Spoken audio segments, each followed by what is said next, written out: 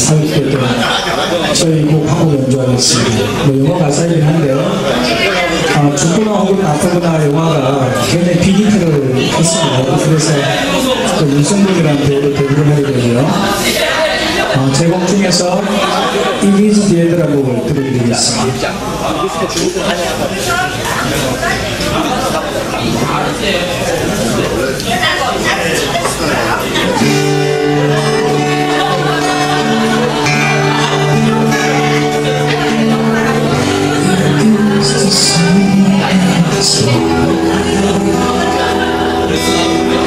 难舍难分。